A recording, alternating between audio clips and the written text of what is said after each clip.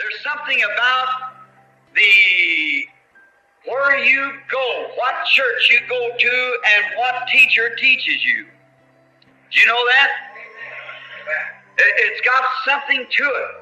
Sí, influye la... donde uno asiste, a qué iglesia uno va y qué maestro le enseña a uno. ¿Sabían ustedes? Eso... eso tiene algo que ver. Therefore, we are to seek out the very best that we can find so we're getting the best. Not because it's sociable and so forth, but the real Bible teaching.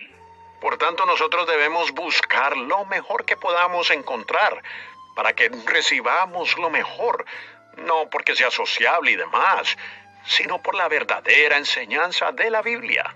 Look, one time when Israel had got out into the wilderness and they had a seven day compass, and they run out of water, and they were about to perish.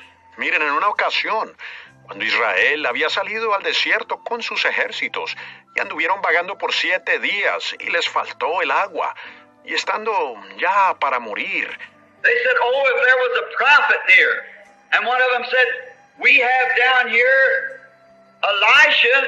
He poured water on the hands of Elijah. See his associates? Dijeron, oh, si hubiera un profeta cerca.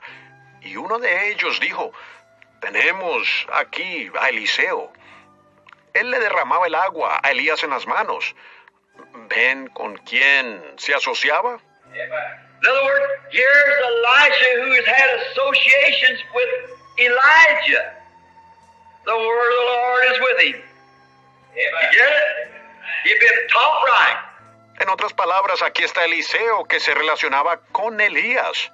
La palabra del Señor está con él. ¿Lo captan? Él había sido instruido correctamente.